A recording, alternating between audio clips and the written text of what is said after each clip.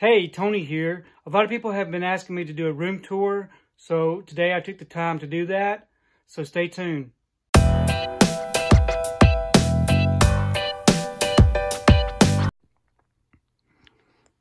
Okay, so here is my desk area.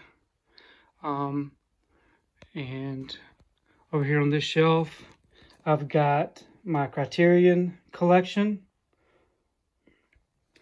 And up here on top of my hutch on the desk, I've got some of my larger box sets. And over here on this um, wall of shelves, um, up top, I do have some of my um, box sets. And then I've got some of my steel books. Now, all of these steel books here on this particular wall are just in alphabetical order. Um, there's quite a bit of them, as you can tell. And then up top, I've just got a few um, signs that I purchased. And my Spider-Man Pizza Hut box. And my Jack Skellington Disney Infinity poster. And then we go over here to the back side of the wall. And this little shelf here is just some of my um, eBay items. Things that I'm getting rid of. And then over here on this wall, of course, I got some posters, some Marvel posters. And over here, I've got my um, Disney Steelbook collections, which there are quite a bit of them. And then just some regular, um, different kind of sets of steelbooks that go together. And then I've got my Marvel steelbooks and they just continue on down. And then I've got my DC um, Blu-rays. And then I've got my um, Shout Factory Shout Select um, Blu-ray collection here going across. And then I've got my Shout Factory um, Steelbooks. And then I start my Shout Factory um, Blu-rays. So that's Shout Factory and Scream Factory and then they just kind of go over to the right with the rest of them all in alphabetical order. And then as we go up, I've got my TV shows on Blu-ray. Um, I really do enjoy different TV shows. And so I, I, I like getting as many as I can on Blu-ray. And then over here on this shelf, I've got just some TV shows on DVD. Um, these are double, um, so there's the front and there's backs that you can't see because there's just so many of them. But that is all of that on that shelf. And then up top, I've got some more TV shows on Blu-ray, just some different sets. My Hanna-Barbera set, Power Rangers, and some other big sets. And then as we go here on the back wall, I've got all my Disney movies. So just kind of take a long shot here. So all of these are my Disney movies except for up at the top. I do have my DVD, um, some DVD collections here. Um, different shirts and tops from different movies. And then over here, I've got my Disney Blu-rays in alphabetical order. And then it goes down and I've got some Disney um, 4Ks. And all of these on these shelves.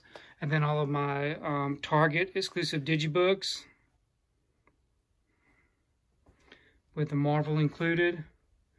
And then some more um, Disney 4Ks up here at the top with the Marvel mixed in, all in alphabetical order. And then I've got my um, Gold Collection DVDs. And then I've got my um, other Disney DVD collections, which there's quite a bit of them. And then here are some of my um, older Disney DVDs. And then more of the Disney Blu-rays still continuing on in alphabetical order.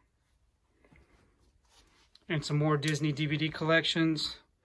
My Disney Movie Club exclusives in the gold. And then there's my um, UK editions with the nice slip covers. And some more DVDs. Okay, and then over here on this wall, I've got some other DVD sets. Of course, I got my Avengers 4 movie collection steelbooks and my DC Batman 4 film collection. And then I've got my GKIDS collection up here on top with some um, exclusive tins for Jurassic Park and um, Despicable Me or Minions. And then I've got my Fox Collect, my Fox Select collection with the white slips. And then I've got my gold um, Academy Award collections and some other collections. And I got my Universal 100 collection. And my, um, what are these things called? My Decades collections from Universal. And then I've got my um, VHS slipcover collection. And then my Twilight Time collection. And then my um, multi-movie um, slipcovers collection. And then we have the back wall, which most of y'all have seen in my videos. The only thing that's changed is I got rid of my um, bookshelves, my black bookshelves, and I built the shelves here on this back wall which took me some time. Um, just got some 2x4s and some 1x2s and was able to build these shelves, which helped me free up 12 of those bookcases that I had back there. Plus, I was able to get more of my DVDs and my Blu-rays out. So all of these are my Blu-rays, and they are all in alphabetical order. Um, as you can see, there's quite a bit of them a really nice collection. I've been collecting many, many years. And then we get over here and I've got my James Bond movies collections. And then I start my 4K collection, which goes down here on this shelf. Then I got my Warner Brothers archive collection, my two movie collection, and then some just rare um, slipcover collections with Blu-rays my Christmas Blu-rays, and some other various collections here on these shelves. So that's pretty much my whole room. Um, of course, I got my Marvel movies.